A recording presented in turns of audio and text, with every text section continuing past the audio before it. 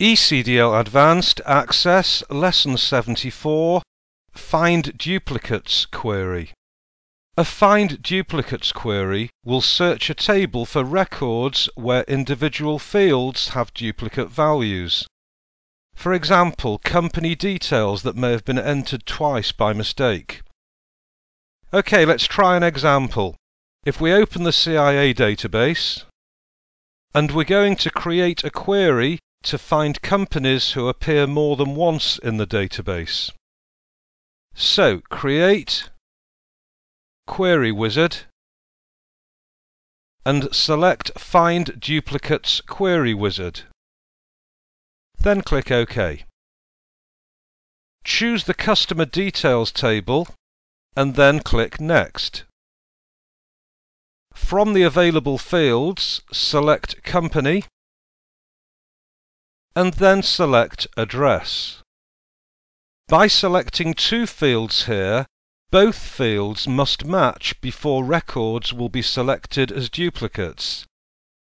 In this example, two records with the same company name but different address fields will not be selected as duplicates. Click Next. Click the double arrow to show all the fields in the query results and then click Next. Finally, name the query Duplicate Company Details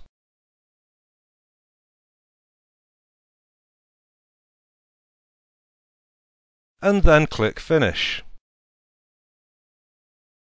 The results contain the details of the companies that appear more than once with the same address in the Customer Details table. On the Home tab, switch to Design View and remove the Fax field from the query grid. Save the query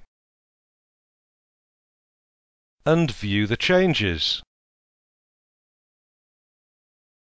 OK, if we close the query, save the database, and again we'll be using this in the next lesson in which we will discuss find unmatched queries.